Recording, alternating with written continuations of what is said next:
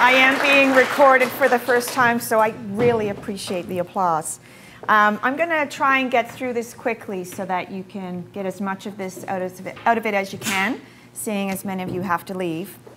So my objective today is to try to give you a sense of, on the other side of the table, what we're looking for and why, because that's really important so that you can showcase that you've got what it takes to thrive in private practice.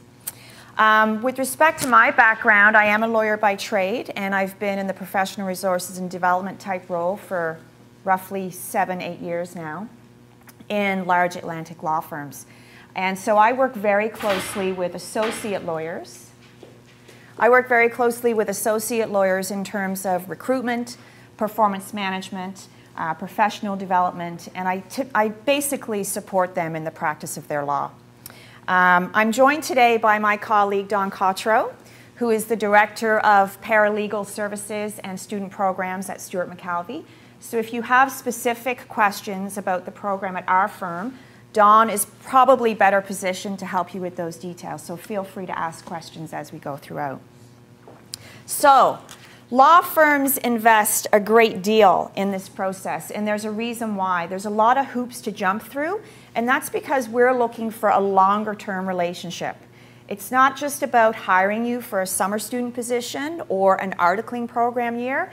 It's about looking for the future lawyers in our firm. And so we want as many touch points as we possibly can to get to know you. There's a lot of talent in the pool, and we need to get to know you as best we can to assess the best for, for our individual firms. So, how do we do that? An, an important lawyer in my life, one of my uncles once said to me, and this was back when I was in law school with Sarah, he said, There's a lot more to being a good lawyer than knowing the law. I didn't have a clue what he meant at that time. I just thought I have to get A's or I'm not going to get a job. Um, but there's more to having strong academics to be successful, particularly in private practice. So we recognize as a starting point very, very few, if any of you, have direct legal experience. It's an unusual thing to apply for a job that you've never done before and that you have no experience whatsoever in doing. So, how do we assess whether you've got what it takes to make a go at it? So, what we try to do is look for relevant, transferable skills that we fit would set, feel would set you up for success in private practice. What you need to try and do is to set yourself apart from all of the talent in the mix to, to demonstrate I've got some of those transferable skills. I'd be a good fit at your firm. You know, and so there's a variety of ways in which you can do that, and that's one of my key objectives today is to give you some tangible tips, some takeaways that you can implement right away to showcase yourself against all the rest of the talent.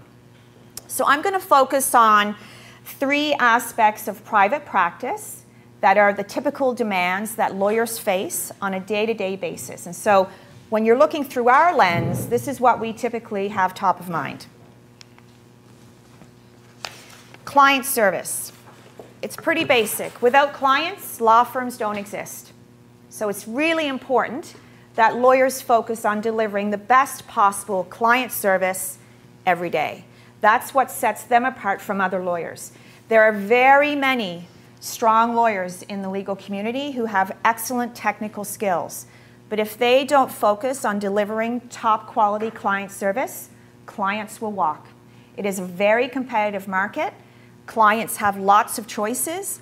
They want consistency and top quality service. They want fast turnaround. They want accessibility. When I email you, I want you emailing me back. And I want to be your top client. I want to be your number one priority. So it's really important that when we recruit lawyers, that client service is a skill that that lawyer can implement on a day-to-day basis. So what can you do as a student who has no legal experience to demonstrate I can adapt to a client service model? Well, first of all, we're looking for those strong communication skills. And years ago, they were called soft skills. Well, in my world, those are the core skills because without effective communication, it's really challenging to deliver top quality uh, client service. So, what you can do throughout this process is demonstrate that you're an, a good listener. Don't underestimate the power of listening. You don't have to dominate conversation. And in fact, if you do that, you know, we're all taking note. They don't listen. They don't listen well. They're dominating conversation. It's not, uh, you know, a, a back and forth conversation. Ask interesting questions. Demonstrate that you've taken the time to learn about the different firms and the people that you're going to interact with. If you are trying to attract a new client, that's what you would do about that client. You would investigate that client. You would learn ways that you can interact with that client, add value, learn about the business. Demonstrate that you have a desire to help and add value, that you are solution focused. That's what clients are looking for solutions in their business or solutions for a certain litigation matter. Demonstrate that you can go above and beyond what was actually asked of you. So, again, for client service, it's not just doing the isolated task, it's looking at the big picture. How can I add more value? So, at your level, it's really important to identify relevant job experience that would you know, indicate you've been in a service-based industry. I was a waitress before I went to law school, so things like that are important to showcase. Um, demonstrate that you've got strong communication skills. So again, in all of the social aspects of recruitment, demonstrate the active listening, converse, um, ask the interesting questions. Know your resume. So whenever you're going into um, whether it's a social aspect of recruitment or the interview itself, you can be assured that the people that you're meeting, they have read your resume, right? And they are looking for interesting aspects of it. So you need to be familiar with it too. And I guess what I would say is if you can always think about treating the firms that you're interested in as a prospective client. If you bring that attitude to the table, that I want to learn about your firm, I want to be a part of your firm, then that will help set you apart from all of the other candidates in the mix because you're essentially coming to the sit table and saying, look, I'm right for the job, choose me. Any questions about client service? Okay. Another key demand faced uh, by lawyers is business development. So this comes back to the competitive legal market. And more than ever before, lawyers very early on in their careers, this used to be, you know, you talk about the rainmakers who were the senior lawyers in any firm, they were typically responsible for generating new business and retaining existing business. Well, in today's market, you are seeing those pressures very early on in the career. In a small firm environment, it could be as soon as you're called. In a larger firm environment, depending on the community you're in, it can be within the first one to four years of practice. Either way, law firms are looking for students, prospective lawyers, to be thinking about business development and to have a business acumen. So again, that's the lens we're looking through. Um, you can't rely on clients to be loyal anymore. So this, you know, in combination with delivering excellent client service, you have to be thinking about ways to retain those clients. Now, in my work with associate lawyers, many of them are daunted by the notion of business development because they immediately jump to the awkward cocktail party. And quite frankly, that is one method of interacting with clients, but it's more than that. The very basic element of business development is about nurturing and building relationships. So that's what we're looking for are the skill sets that would help you build relationships. So how can you do that? Again, it comes back to you demonstrating that you have strong communication skills. Are you relaxed in conversation? Are you at ease? Can you um, maintain eye contact? Because that's important. If you can't maintain eye contact or you struggle with that, it can affect the confidence that others may have in you. So think about those little things uh, when demonstrating that you have those strong communication skills. We talk a lot about the handshake, the firm handshake. And one of the examples I've used in the past, I remember meeting a very strong candidate uh, from Osgoode, um, and he was a competitive hockey player. And when he shook my hand, he did the little tip thing. And I don't know if he thought because I'm a, I'm a woman, I can't shake properly, or if he shakes all hands that way. but it impacted the way that was the last thing I remembered about him. Despite his excellent application, he conversed very well in the interview. So think about these little things that can leave impressions. You know, it's all about people having confidence in you. We talk a lot about that at the lawyer level. Do you have confidence in this lawyer to handle your work? You know, that is a question I ask. I'm doing performance reviews right now. I ask it about 10 times a day. So it, it all comes back to that. Do you have a question? Yeah. Yeah, yeah I was wondering, so in that initial contact, you, you, you go to make a handshake, and let's just say it was just misplaced. Yes. How do you, how do you then like kind of recover from that to say, okay, I recognize this wasn't a strong handshake. that, okay. Can I, can I just interrupt for one second? Uh, privacy concerns dictate that I, I get your consent to being videotaped if you're taking, if you're taking, if you're asking questions. Can everybody just put your hands up if you agree, and if you don't, don't ask a question? All right, because it would be so boring if we're just listening to me. Well, that, the answer to that, like anything in law, depends on who you ask. If you were to ask me this question, I, I use humor appropriately when there's an awkward situation. Um, so I would say, well, that was a great handshake. Let's do that again. But that depends. You have to really try to gauge, you know, like that would go over very well with me. With others, perhaps not so much. I don't know if, Sarah, you have like an alternative suggestion there. Yeah. and go in for it again. Yeah. Yeah. Direct, then walk away, kind of kicking yourself because you didn't take the opportunity. And it sounds so trivial, but you know, when Lucy says about the figure, I mean, I got a shiver. yeah. You know. And, and it's just distracting, right? It, that's it. You want you don't want the negative distractions yeah. because the pool is so strong and so competitive. You don't want any of those distractions right? When people are looking at the strength of the candidates, candidates you just want all the positives to remain on the table. Because there's often these tiebreakers, right? And I know it sounds, sounds terrible because your, your jobs are on the line. But when you have that many people in the mix, you've got to make a decision somehow.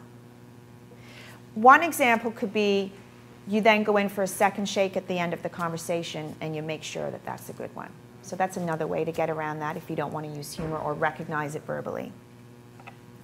Um, another one I like to emphasize, uh, you know, think about in advance. If I'm very comfortable in a social setting, that's why I do what I do. I really enjoy interacting with people, getting to know people. I ask lots of questions. Um, but if you are uncomfortable with that and it's not natural for you, then think about it in advance. It's like preparing for anything, even the social aspect of recruitment. Think about the icebreaker questions. That can be part of your, you know, your prep in terms of the various firms. Maybe don't go around asking the same icebreaker or the same question as an icebreaker with all people you meet at the same function, but have like a little list of five, you know, your toolkit per se. If, if conversing doesn't come naturally, and you're always going to meet awkward lawyers. That's a given. So have one of them for those anyway. Even if you're great at it, you're going to meet an awkward lawyer. That's just a given. Uh, the one I do like to emphasize because the demographics in law firms, you know, we've got lots of generations in the mix. And I think it's fair to say that a lot of those with um, influence within the firms tend to still be rather senior. I'm in my early 40s. And I, I mean, it's only in the past five years I've started conversing by text, right? So you've got lawyers who are much senior to me. So if they see you at a function and you're texting, they don't think of that as a normal form of communication. They think of it as being disinterested, rude, and not worth my time. So think about those things as well. You may need to modify your habits when interacting with um, law firm representatives. Okay, uh, the other thing we look for is judgment. So in, again, in the social context, thinking about business development, client service, transferable skills, is this individual client-facing appropriate? And by that I mean, is the choice of conversation appropriate? I remember being at a reception and um, a very strong candidate told me about how drunk he was at a party. Well, that, you know, I, I don't need to know that. I mean, I wasn't offended. I've got pretty thick skin, but not a good choice of conversation with someone you want to hire you. Um, have a professional demeanor and appearance. So on the choice, on the question of dress, this is one of the trickiest things for people to get their head around. You're on a tight budget. You, you know, your student attire isn't necessarily fitting for trying to find the job. So you're trying to figure out what do I wear to the interview? What do I wear to all of the social engagements? And again, it depends on who you ask and it depends on the firm, whether you're looking at a small firm, larger firm. What Sarah and I have said in the past is um, you know, a suit is a great default. Not everybody has a suit at this point. I invested in a suit. I spent too much money on it, but I wore it for six years until it got holes in it um, in my second year. So if you can uh, make it in the budget, invest in a suit because you'll get lots of wear out of a suit if you're looking to be employed in a law firm.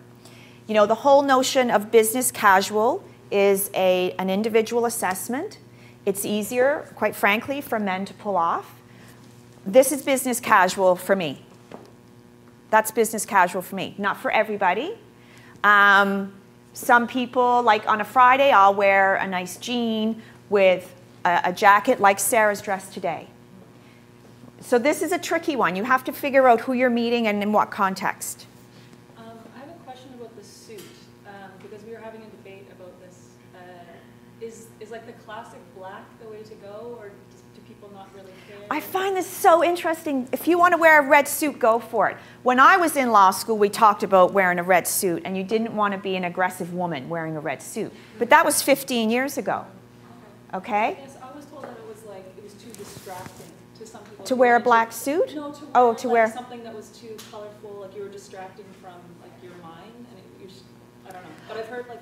Well, this is the thing, it's so subjective. I think you need to dress in a way that you are very comfortable because you don't want to, what you're wearing to be distracting to you so that you can't put your best foot forward in an interview.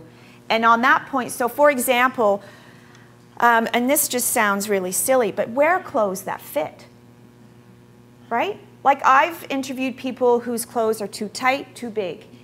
That's distracting for the candidate, and it is distracting for the interviewer.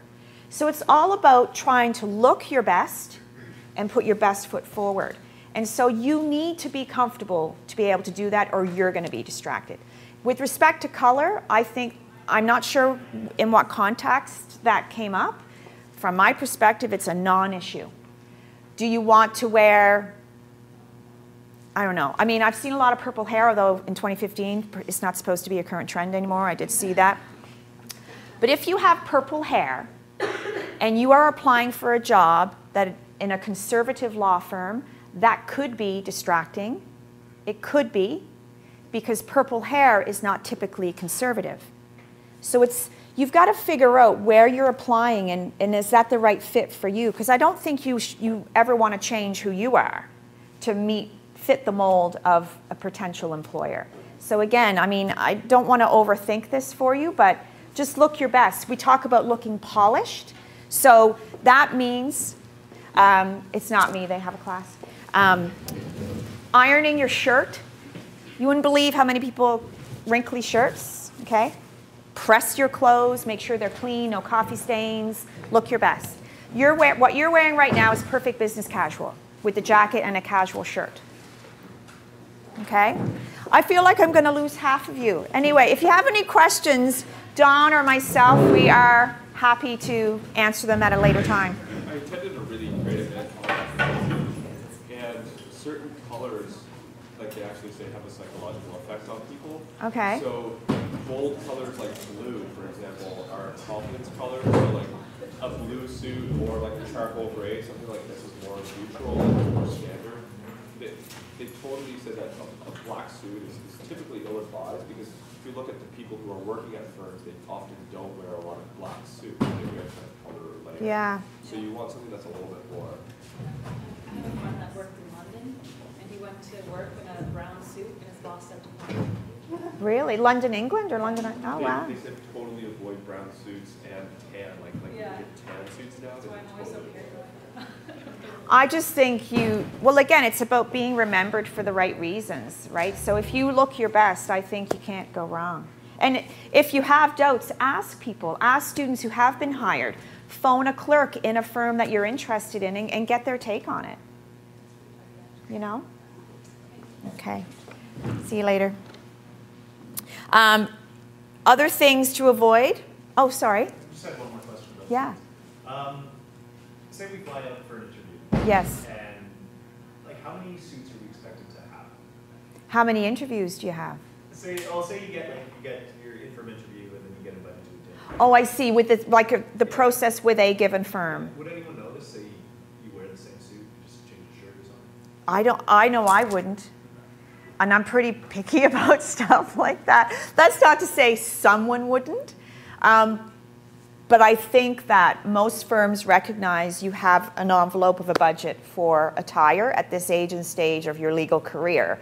So um, I think if you choose to invest in a suit, uh, take care of it, and you know I think changing the shirt in and out is a great option. Yeah. This may be like going too far down the suits rabbit. Yeah. I love that show, by the way. Oh, Yeah. yeah. me too. New season out this week. Really? On Netflix? Uh, no. uh, Oh. But I was just wondering about bow ties. Like, are bow ties like compatible? Uh, what, do you know, like, I don't know where those stand. I love a good bow tie. You, and this is about being true to your character. Yeah. So if you're in an interview with me and you've got a bow tie on, and you happen to be sitting with Mark Bursey, who may very well also have a bow tie on, um, one of the things that most interviews or interviewers will say is, like in my notes, bow tie, because it's a way of me recalling you. We meet so many people. So again, I think to set yourself apart in the right way, to show your character, I think is a great thing. And you can do that through good judgment, choice, fashion choices. Yeah. There's bow tie day and everything, right? I mean, what's wrong with a good bow tie? Okay. Um, in terms of things, uh, conversation points, the good judgment piece, um, again, professional demeanor and appearance, appropriate alcohol intake. Uh, I am not a beer drinker. I enjoy a glass of wine, but it does make me flush. So when I go to events like this, I'm working. It's an employment uh, gathering, not a social one. So, you know, go and maybe have some sparkling water if you react strongly to a small amount of alcohol, but monitor your intake at these events. You know, it's um, a marathon, not a sprint, right? This is an exhausting process over a very short period of time. Many of you have assignments due, you have classes, you may have jobs. So, party afterwards is my recommendation. Have fun, but make sure that your alcohol intake is, is appropriate. Avoid asking questions that deal with money early on in the process. If towards the end of the process you feel you are a strong candidate and there may be multiple offers coming in, that's when you would have a conversation about what's the compensation package going to look like. And you might want to do that through a, a clerk or a junior lawyer, not necessarily the recruitment team, but give that some thought. But it's not appropriate to ask, what does a clerk make if you're meeting someone for the first time at a reception? Avoid chewing gum, turning your phones off, all of those things, and using humor appropriately are all good things. Um, but again, overall, try to be yourself and try to build rapport with the people that you meet throughout the process. I've got a note here to manage the nerves as best you can. So, whatever works for you, whether that's making sure you get regular exercise, stay hydrated, practice with friends, um, scream at the top of your lungs before you enter a certain room. I don't know, whatever it takes for you to get the nerves in check because you've got a, a finite period of time to really, you know, showcase what you can bring to the table. And again, you want to be remembered for the right reasons. Workload management. So I work very closely with our lawyers on managing and juggling all the balls in life. And the reality is, with clients having the high expectations they have, and each individual client expecting to be the number one client, in addition to that, you've got um, all, most men and women now in private practice are taking an active involvement in raising children, uh, actively involved in the community through volunteerism, sports, whatever it may be. So, strong workload management skills are really critical for long term success in private practice so that you enjoy practice day to day. So, what can you do at this age and stage to show that you can handle those pressures and manage them effectively? Well, we're looking for people who can demonstrate the ability to multitask, obviously, and you know, someone who is fairly organized. That's very important to thrive in private practice. So, with respect to multitasking, do what you can to demonstrate look, I have strong academics, but I also do these things, whether it's a part time job, sports, volunteerism, active involvement with my family. With respect to organizing, it's really important that you can demonstrate the ability to plan ahead, anticipate next steps. Um, you know, it comes back to that point uh, with respect to delegating lawyers who are internal clients or the external client having confidence in your abilities. And one of the horror stories can be a senior lawyer walks into a junior lawyer's office and there's paper everywhere, and that senior lawyer says, My file is in there somewhere. So it's about having confidence that you've, you've got the ability to have it all well in hand and move files forward. So with respect, I know the resumes were due today, is that, or they've already been submitted, yeah. So um, with respect to being organized for interviews, and correct me if I'm getting this wrong on the rules now. What I would do is, depending on how many interviews, I would have like a one page cheat sheet for every firm. You know, a little bit of history about the firm, some interesting facts that you've researched, uh, do some due diligence on those who are interviewing you, maybe do a snapshot of their picture so you don't forget who they are. Um, your you have a list of three to five questions that you want to ask in an interview. And I'm a paper person for stuff like that. So I would have a binder. Um, you know, if you want to use an iPad or something, you could use OneNote. I find is great for that kind of thing, just so that you're very organized. And whether you're permitted to take that into the interview or not, at the very least, what you can do is prior to going in, scan that one pager refresh on that individual firm, and then as you're leaving that interview, you can make notes about that firm, which comes in handy as the process progresses. So if you wanted to send a personalized thank you, you could reference something that was discussed in that particular interview. Don't underestimate how exhausting this will be, and it will be very challenging and taxing on you to remember everything. So don't underestimate the importance of jotting things down. The other thing that I often coach our lawyers on is about work ethic and resilience. Lawyers work really hard, and depending on the firm in which you choose to practice, that can vary. Um, but either way, you've chosen a career that you, you've got to work hard at. So it's important that you assess your gas, tax, your gas tank and your ability to handle the pressures that come with private practice and having a great personal life. So, from our perspective, we are looking for indicators of that ability to handle all of that. And so we make note of those who have a calm demeanor. Um, when I talk about getting the nerves in check, it's important for that because it comes back to the never let them see you sweat, right? Fake it till you make it. So putting your best face forward in terms of having a calm and relaxed demeanor, that is a great way to set yourself apart. Anything else on that? No. So then, about you. Um, I think it's really important, and I know it's incredibly competitive, to do a fit assessment from your perspective that's really important that you do your own due diligence up front to try and figure out what firms would be the best fit for me. So you want to ask about whether if mentorship is important to you, do, do, do certain firms have mentorship programs? What is the culture of the firm like? Is it an open door policy? Is there teaming on files? What are the expectations of practicing lawyers in terms of client interaction, um, internal interaction? What resources are available at various firms to support lawyers in the practice of law? Some firms have the benefit, uh, like the Atlantic regional firms, of having dedicated professional uh, resources departments. Others do not, but that's not to say those supports don't exist. It may be that a lawyer internally is uh, dedicated to that. Get a sense from uh, existing students and associate lawyers within those firms. Don't be hesitant to reach out, whether it's through a, a referral or a cold call, and just see if you can go to coffee with somebody and learn more about what is it like to work there on a day-to-day basis. Because coming back to my original point, we're looking for that longer term relationship. So I think it's really important on your end to get a sense of that too.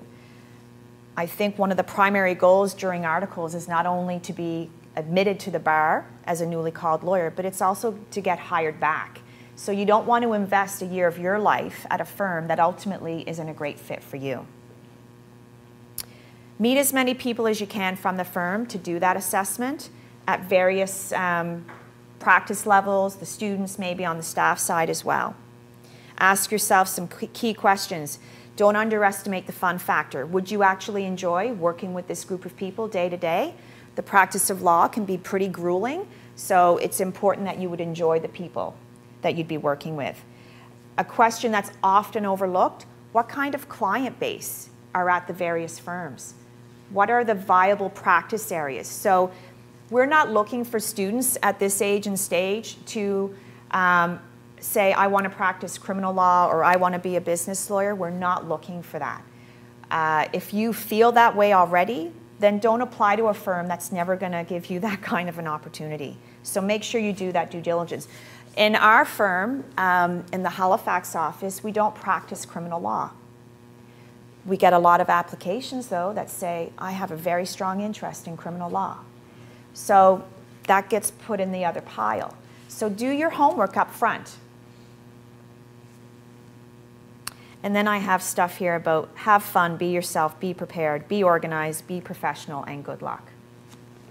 So a question about this, um, you know, I, I really like your comment about treating the firm as your client because you want to get as much information as possible. Right. Um, so you get to the job interview and you get to the stage at the end of the interview where there's any questions about us or about the firm. And for a candidate, they've probably done quite a bit of research or they should have done some research going in there.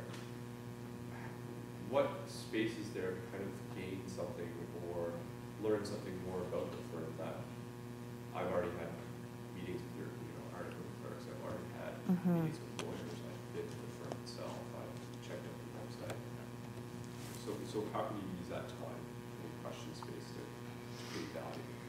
I think importantly, it's an opportunity, opportunity for you to demonstrate you have done all that homework. So even if you position it as, look, I, I have met with so and so, but I'd like to get your perspective on X. Don't, if anything, don't waste that opportunity. Don't say, I don't have any questions. That is noted. If someone does not have a question for me in an interview, that's the last thing I write and they that's a tiebreaker. So take advantage of that. And if nothing came up in the course of the interview that's new or, or caught your interest that you want to follow up on, then go back to your standard list of questions because that, if anything, demonstrates I've taken the time to investigate your firm, I've come prepared. They don't need to know you've already done, you've already got the answers you need, but you're demonstrating that I've taken initiative.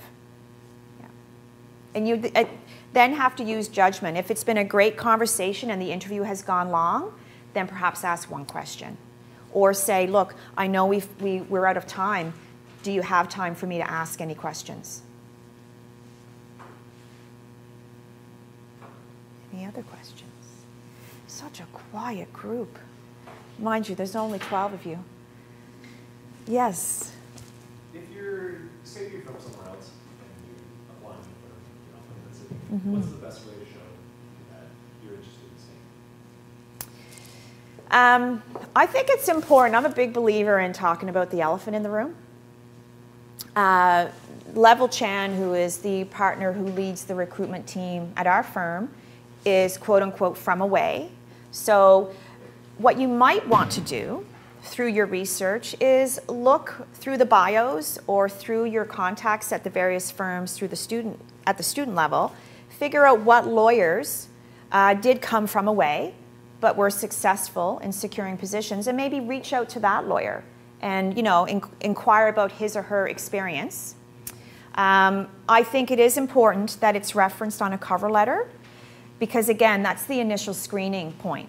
And so when there's so many talented uh, candidates in the pool, when you scan a resume and there's no other connection to this community other than law school, then I need to see something in a cover letter that suggests to me a level of commitment to stay in this community. And this simply comes back to the point of us, from our perspective, looking for a long term relationship. And in many cases, uh, work isn't enough to keep people in a certain community. So I think it's important to recognize it.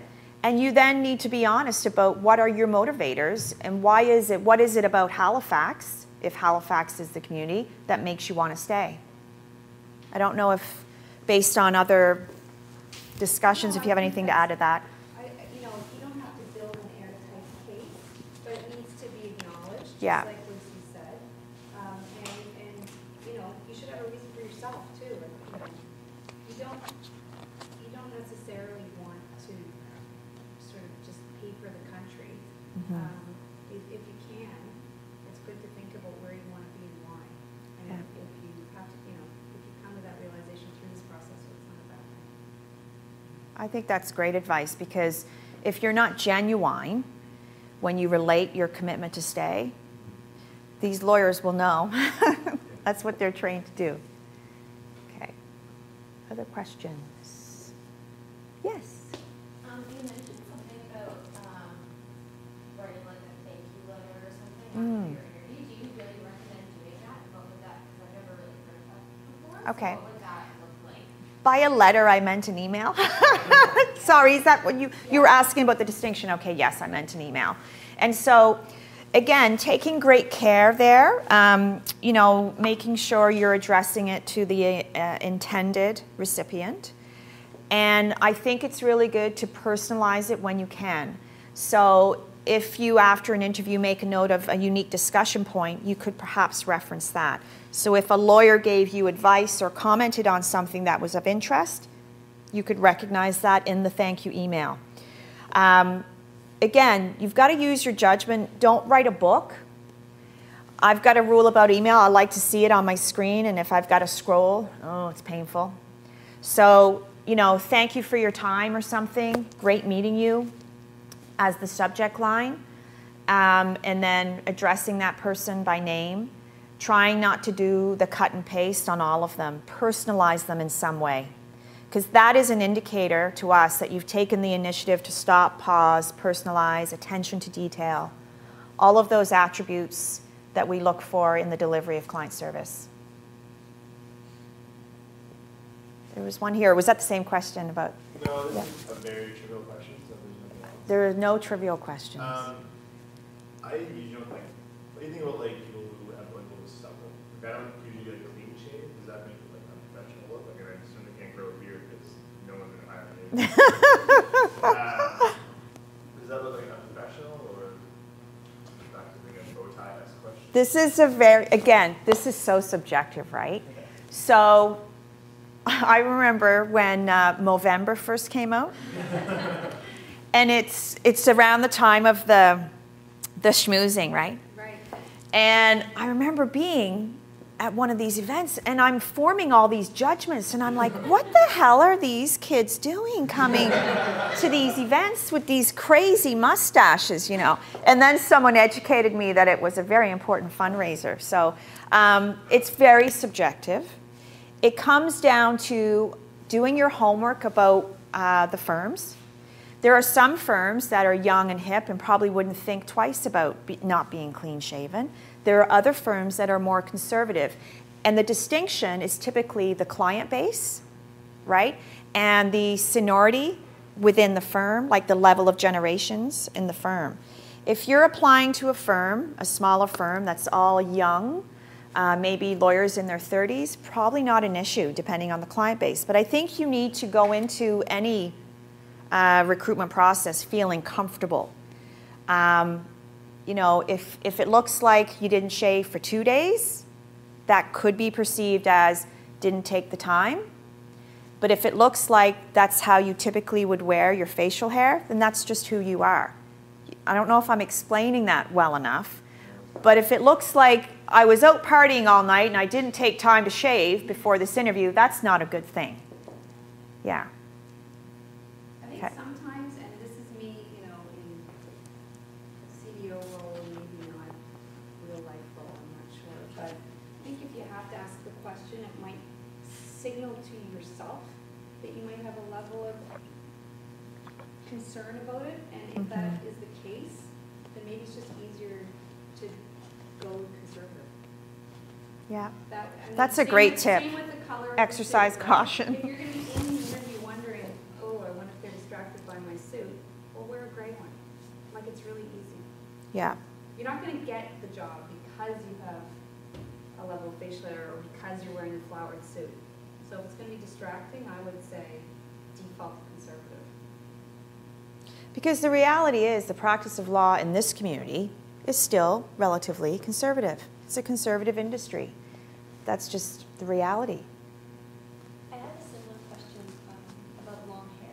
Yes. I don't, I would probably do something different, I would just wear it like this, but I'm not sure how that's perceived, and I don't really know how to do anything, any like fancy or conservative updos, so I feel like I would be less comfortable in something like that, but then I don't want to come across as overly casual. Your hair looks fine to me. I would never, and I've always had short hair, I would never have made a mental recognition of your hair. Either way, positive or negative. Yeah, yeah. Any, I mean, you've got long hair, Sarah. Any comments on that? I wish I could put it up. You know, if someone had ponytails up the top, maybe that would be distracting, yes. But I, I, I work with many uh, practicing women who um, have long hair and they wear it down. They never put it up or anything, do they? Like a clip or anything. No, it's always worn down. Yeah. Yeah. Yes. Um, you mentioned making in your cover letter to factors that influence your so I'm just kind of wondering what are, if there are like better things than others to say, um, if some things, you know, come across as really digging for something. What are kind of the best ones to say? Well, f- the starting point is being genuine um, and identifying because that is a conversation point. So if you're going to write something about that, you can expect it to be discussed in an interview. So make sure it's truthful as a starting point.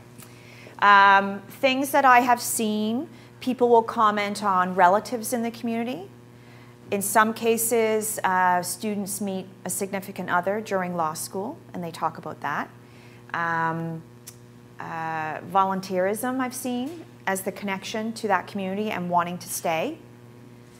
Um, trying to think of other things. I mean, Level tells a great story about this. He just he fell in love with Halifax, and he was here for I think two of his degrees. So it, it's a unique it's it's unique to you. But my my caution would be be truthful and honest about that. Don't just make things up. You know, if if there's no other reason other than getting a job. Yeah. So when does it all start? Is it next week? Yeah. Yeah. So everybody is participating in Super Saturday?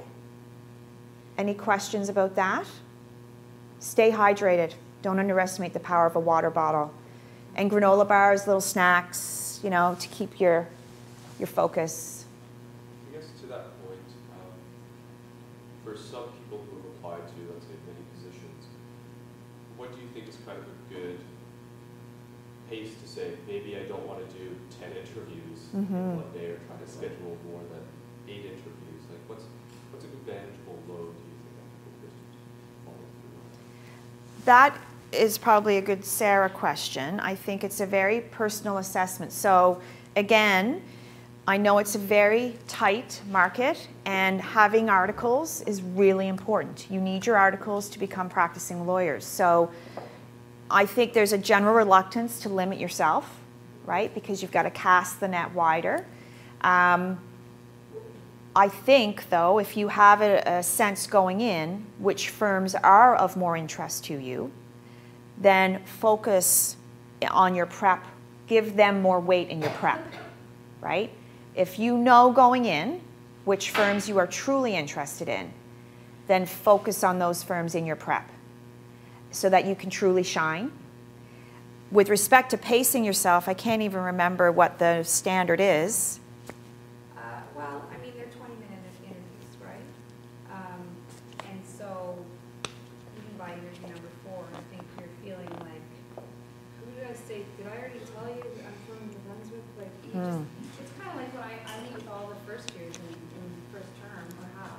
And I can't, I'm like five minutes into my pattern, I don't know, did I already tell you this part? Cause I've said it like twelve times in the last three days or whatever, Mhm. two days.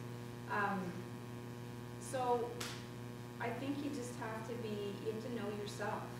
Um, I, I'm concerned about telling people to limit themselves, but better to do well at six than to do terribly at ten.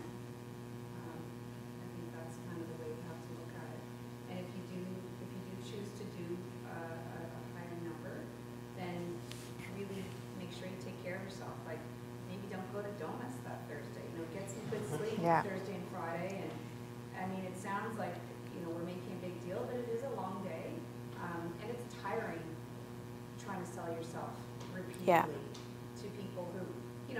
sometimes interviewers are gonna be asking you inane things, and you're thinking, why are we spending like five minutes of this twenty or ten minutes of this twenty talking about, I don't know, did you see that cat video last night? Mhm. You know, Yeah. It it can be, it can be pretty challenging, so I think you have to know yourself and, and figure that out. Uh, Certainly, we can talk about it one-on-one too, depending on how many interviews people get, um, help you kind of prioritize a little bit. I think that is really important, though, to if you know yourself and you know how how much of a gas tank you have, don't underestimate rest, being hydrated. Just don't go drinking the other the night before. That that's just a you know a smart move. Drink that night. Drink afterwards. um, right? Like decompress. Go out with your friends. But this is an opportunity for you to get your foot in the door. If you don't prepare yourself, it could be a wasted opportunity. So approach it as the beginning of the process. Again, it's a marathon, and you want to start off strong. Okay, I see you're ready to. So there we go. All right. You can reach out to Don or myself and any of the recruitment team um, at all of the law firms. All of, all of the lawyers are happy to discuss any of your questions. A great source of information, though, are those who are closer to your age and stage of the legal uh, practice. So, students who are still in the law school, clerks are great. Just go for a coffee and learn what you can about the firms. You're welcome.